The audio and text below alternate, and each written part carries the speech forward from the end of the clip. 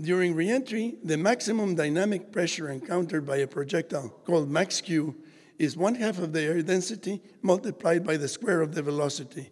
Calculating max q for speeds of 3.5 and 4.0 kilometers per second, we can see that the aerodynamic forces are smaller than the compressive strength of glacier ice, which can be 15 megapascals.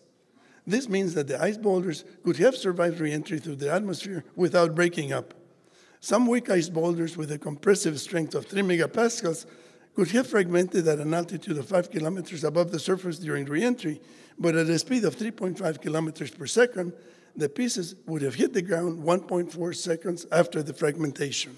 Ice projectiles re-entering the atmosphere at 3 to 4 kilometers per second and at an angle of 35 degrees would have spent 43 to 58 seconds traversing the atmosphere. In 2019, I conducted an experiment to determine how much ice would melt during one minute at the reentry temperature typical of the space shuttle, which is slightly uh, lower than the 1,995 degrees Celsius produced by a propane torch. Blasting an ice chunk for one minute with a propane torch only melted 10% of the ice.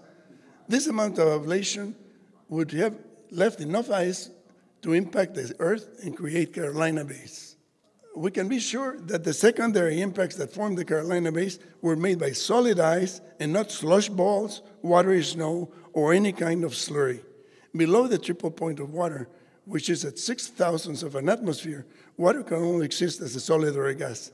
Any liquid water that was ejected by the extraterrestrial, extraterrestrial impact or by piggybacking on an ice chunk quickly turned into ice crystals. Any wet ice boulders would have left a trail of ice crystals during their trajectories in the vacuum of space. The glacier ice impact hypothesis uses the laws of physics as the mathematical foundation for calculating the characteristics of the impact basins and the extraterrestrial impact. The conic sections representing the Carolina bays and the convergence point by the Great Lakes provide the initial conditions for the basic phase, uh, base model. The ballistic equations provide the velocities of the ice projectiles. Yield laws correlating impact energy with crater size can be used to calculate the size of the projectiles. These calculations provide information about the extraterrestrial impact. Ellipses are conic sections, and this implies that the Carolina Basin and the Nebraska basins originated as inclined conical cavities or penetration funnels.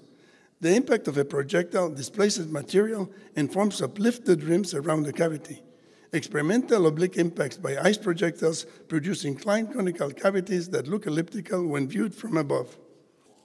In 2022, I coded a Python program to fit ellipses to the Carolina bays by the least squares method. Points are selected along the perimeter of a Carolina bay, and the coordinates of the perimeter are processed by the program to graph an ellipse and calculate the azimuth of the bay. This program is open source software available for everyone. The Python program can process points from Google Earth geographical coordinates or from a digitized image. Geographical coordinates are converted to meters, taking into consideration that the distance between degrees of longitude change depend on the latitude. The Carolina bays are elliptical and ellipses are conic sections. So where do the cones come from? The cones come from the shock waves. A projectile moving through a viscous medium creates a conical shock wave as long as the frictional forces do not exceed the yield strength of the projectile. The shock wave displaces, uh, dis dissipates quickly in a medium of low viscosity, such as air or water. An elastic medium like ballistic gel uh, reverts to its original form and retains the tubular path of the projectile, but not the conical shape. A viscous, non elastic medium like modeling clay,